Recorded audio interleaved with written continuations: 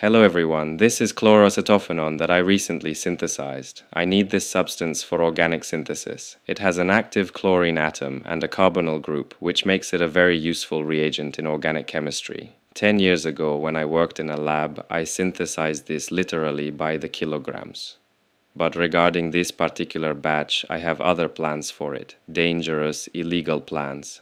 Chloroacetophenone is a white crystalline substance that, in small concentrations, has a pleasant scent of apples or bird cherry. But it has another interesting property. It's a very strong irritant or tear gas. This substance was used for a long time in tear gas canisters. The original mace formulation was a 1% solution of chloroacetophenone. It was also used in grenade form for riot control and dispersing demonstrations.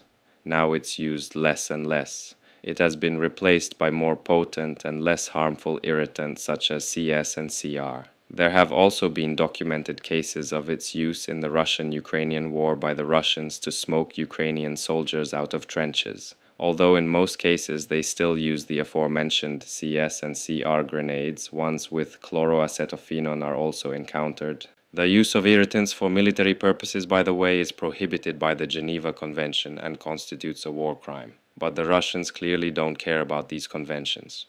Now let's move on to the synthesis. A small disclaimer here. I performed this synthesis for educational purposes. Do not, under any circumstances, try to repeat this at home. This is not a tear gas making tutorial, so I am not providing the exact conditions or proportions of the reagents, only a general description of the process. Chloroacetophenone is a persistent substance, and if you contaminate your home with it, the consequences will be catastrophic. Here is my apparatus for obtaining chloroacetophenone. This is the chlorine generator. I am dripping hydrochloric acid onto trichloroisocyanuric acid, and chlorine is released. What you see is not the proper way to assemble a gas generation apparatus, but it works. Next, the chlorine passes through a flask with calcium chloride for drying. Then, it is bubbled into a solution of acetophenone in acetic acid. From time to time, I disconnect the flask with the chloroacetophenone and weigh it on a scale. When its mass reaches a certain pre-calculated value, the reaction can be considered complete. If the chlorine is not dried, the water in it will also contribute to the mass and the endpoint of the reaction will be impossible to determine. After the reaction was finished, I poured the acetic acid solution of chloroacetophenone into water. A lot of oil separated, which was reluctant to crystallize. I took a sample from the solution, and with the help of isopropanol and a refrigerator, I managed to obtain crystals. When I added these seed crystals to the entire solution, the chloroacetophenone crystallized, but not completely. It was a mixture of crystals and oil. I filtered the crystals and pressed them to squeeze out the water and oil. I recrystallized a small amount of the chloroacetophenone from alcohol for purification. Although I shed a few tears while working with chloroacetophenone, handling it turned out not to be as terrifying as described. I was hoping for more. So, to raise the degree of stupidity to the maximum, I made this.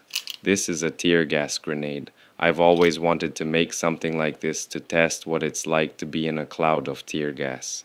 I didn't fill it completely, only about a third of the capacity. This will be entirely sufficient for the test. Such a grenade is, of course, illegal. Do not do this under any circumstances. If you really want a tear gas grenade, you can buy a civilian version completely legally on Amazon. Some of them contain pava powder, which is dispersed by an explosion.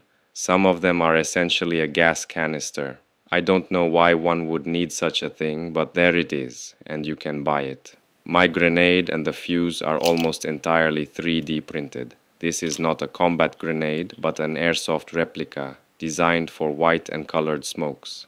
I have already made a video about this, so if you want to know how it works and where to get the print files, check out that video. Again, this is not a tutorial and I will not show how to assemble a tear gas grenade here. I will only say that everything works very similarly to a colored smoke bomb.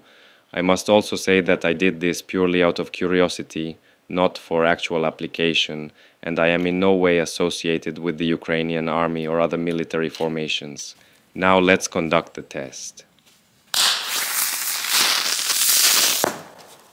This pop, that's the grenade breaking apart and ceasing to function as intended, but that's not a problem. The smoke is still coming out.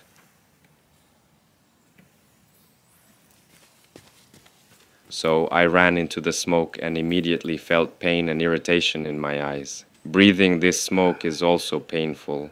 After some time, I felt skin irritation on my face. Perhaps some of the chloroacetophenone condensed on the skin.